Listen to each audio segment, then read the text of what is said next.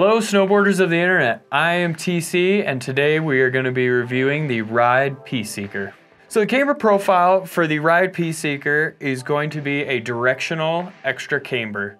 So you have a rocker nose which makes it easy to get in and out of turns, also helps with float, with a camber underneath your foot all the way throughout the rest of the board to keep that stability and edge hold. This board's available in 138, 142, 147, 151, and 155. I rode this at Eldora Mountain. It was a really hot day, sunny, beautiful, super slushy, and slow snow. I used my Ride Fuse boots and Jones Mercury bindings.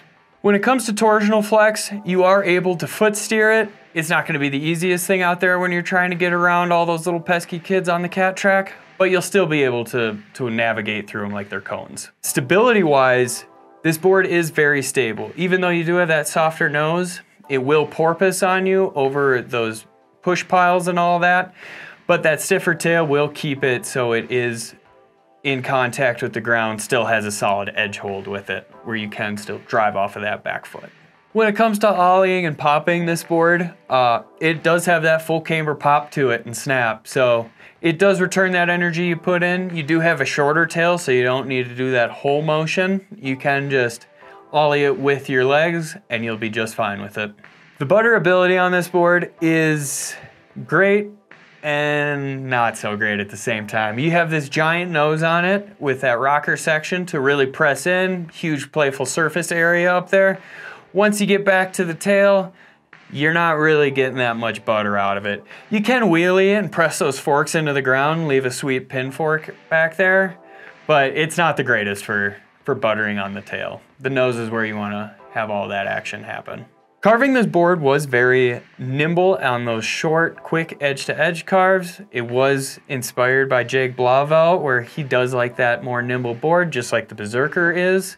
On those medium carves, it does hold up extremely well. It'll hold that edge, feel nice and stable, and that really does translate to those long drawn out carves at high speeds. Now when you get to the bottom of the run and you want a Euro carve around those slow signs or just those people standing in the way, it'll totally do that and leave a trench behind you. So this board is made for anybody that wants to rip all mountain, hold a great edge, and just carve it up on the mountain there. Personally, I thought this board was super fun. If you own a War Pig or a Super Pig, but you just want a little bit more, a little bit quicker edge to edge, I would say this would be your board to add this one to your quiver.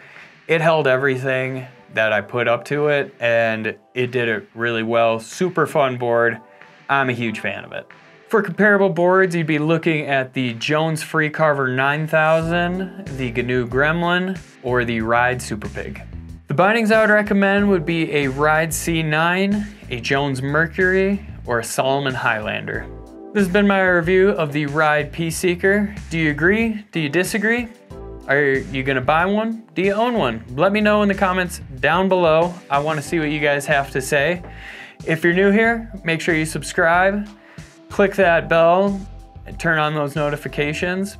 If you want to support us further, head on over to Angry Snowboarder VIP. I can explain more here now, but we got a great video over there that'll get really in depth with it. As always, guys, I'm TC, and I'll see you in the next video.